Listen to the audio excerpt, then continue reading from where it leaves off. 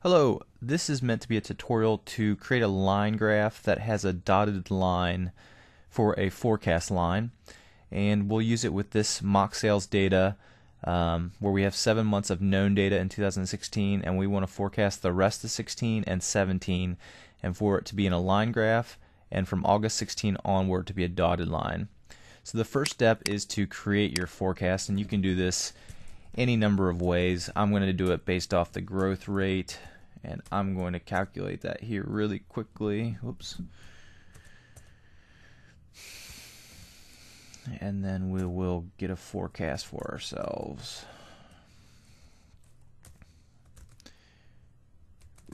drag this down, format it here, and we're going to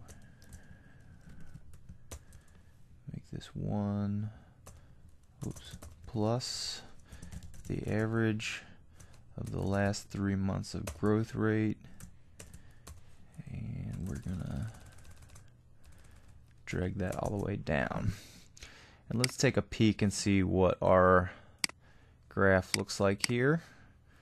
We have this cool little exponential looking sales chart here with a forecast out to 17. Maybe it's a little aggressive and maybe you need to change your forecast method. Um, but we're just going to show you how to make from August 16th onward a dotted line. And for that, we're going to have to actually insert a column. And we're going to have something called sales forecast or whatever you want to, if we just want to make it forecast. And we're going to go down here and we're actually going to start with the first real number that we know, or the last real number that we know.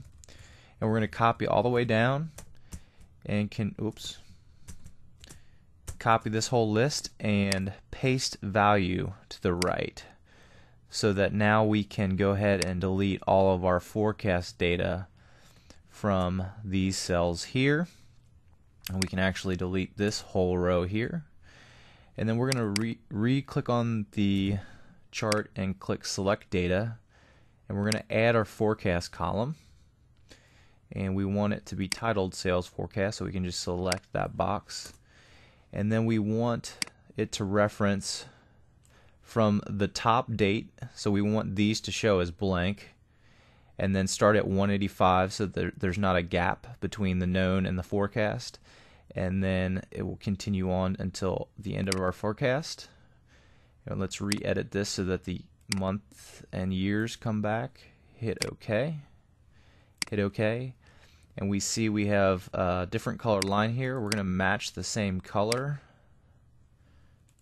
And then we're going to make it a dotted line of our choice. I like this simple dotted line here. And